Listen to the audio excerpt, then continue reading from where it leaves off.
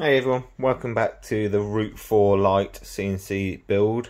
Uh, as you can see in the previous episodes, we've got the gantry mounted to the y-axis, mounted to the baseboard. I'm going to continue mounting the motion system for the y-axis. And then um, hopefully we'll get the drag train mount and some motors mounted in this episode. So stay tuned and we'll crack on with the build.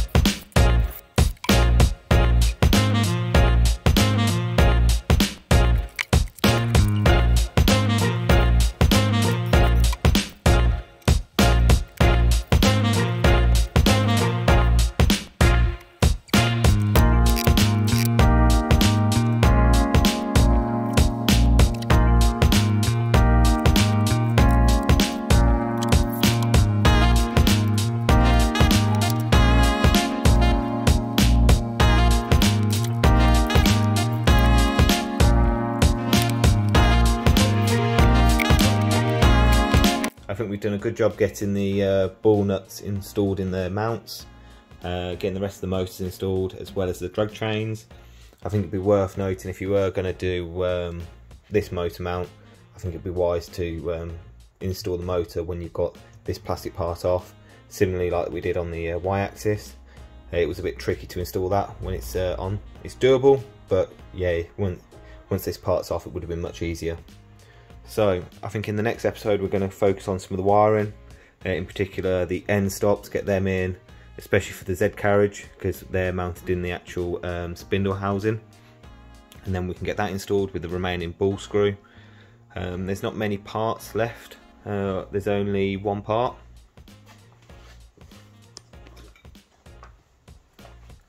Um, this fella, this is for the dust shoe.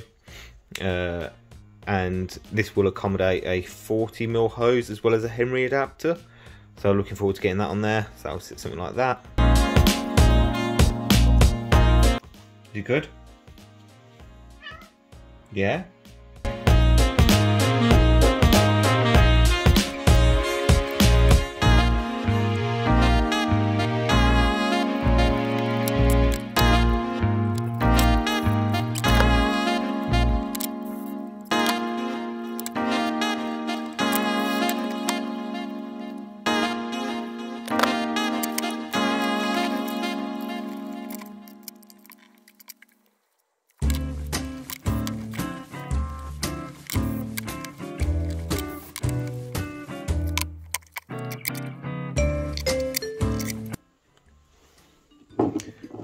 whilst it's off, you can see where the cables go in the carriage. There's a little uh,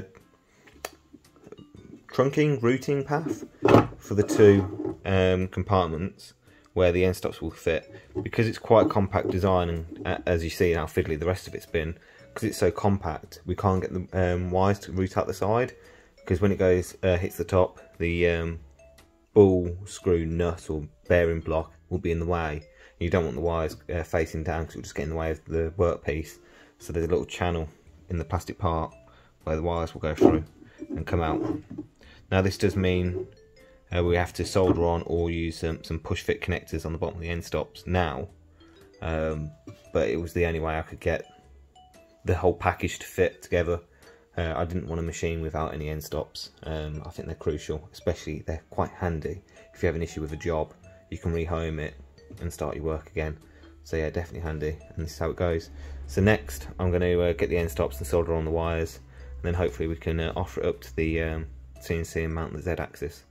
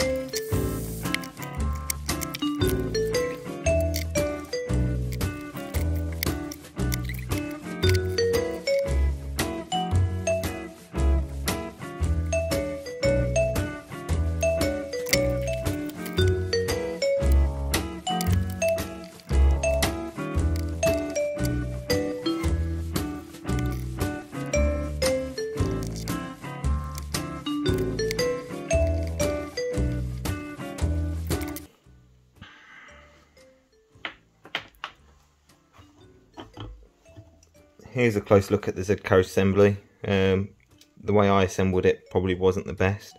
Might have been better to get the uh, end stops in first, then the ball nut. But I thought I might not be able to get the ball nut in at the same time. So they're in. The um, mounting holes for the uh, end stop switches were undersized, so you didn't have to actually install a nut on the other side. Um, I've used two two sizes of a bolt here, but the end stop's securely in. They ain't going anywhere. So if you've got a slightly loose hole, you can put a nut on there to um, screw into, but for me it wasn't needed. The um, screws kind of self-tap themselves away. Now you can see with the uh, end stops installed, the uh, we've got the cable train cable train, so a cable trunking that goes through into the two compartments. Ready for the min and max end stops on the Z carriage. So now what we're going to do is get this, uh, make sure all the nuts and bolts are secure, and then offer this up to the Z axis.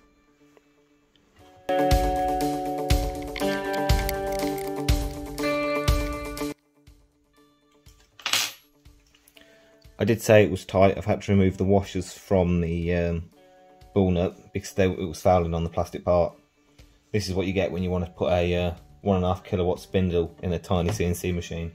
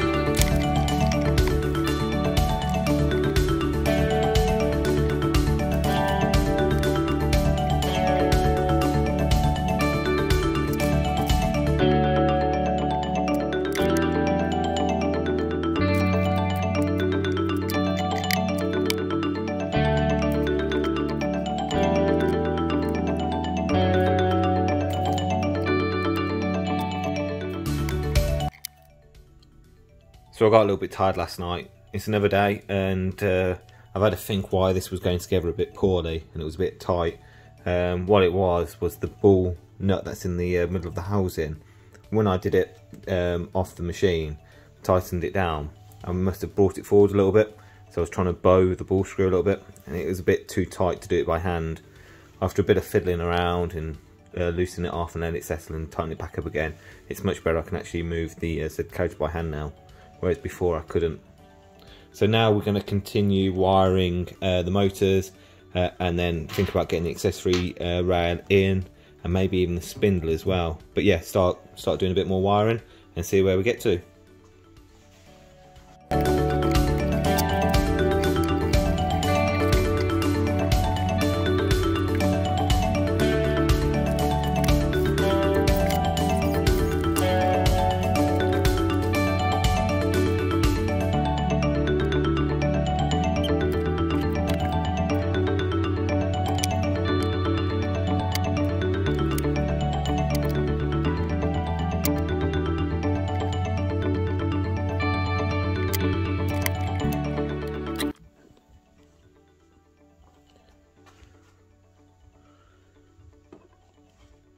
Just a quick look what I've been doing. Um, I've inserted the uh, M5 by 25mm long bolts with some uh, thumb nuts on the end of it. So when I actually come around to install uh, the adjustable adjustable height um, dust shoe, I can just uh, screw these off, stick them in, and then it will slide up and down on the rails to adjust the height. Or put a laser on there of some sort. I think that might be the next addition to it. But uh, yeah, it's feeling really good, nice and solid. Um, and yeah, it's on. Let's have a quick look at the side view. So you'll be able to see what I meant by the uh, end stop switches. There'll be no room when this uh, Z carriage is all the way up, um, so they've got to come out through the plastic part.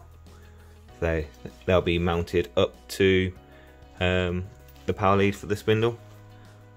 So they uh, go up and down with the spindle itself. But yeah, it's looking really good. I think I'm going to start wiring the end stops for the x-axis on uh, both sides here and here and then start thinking about the motors. So it's not far off.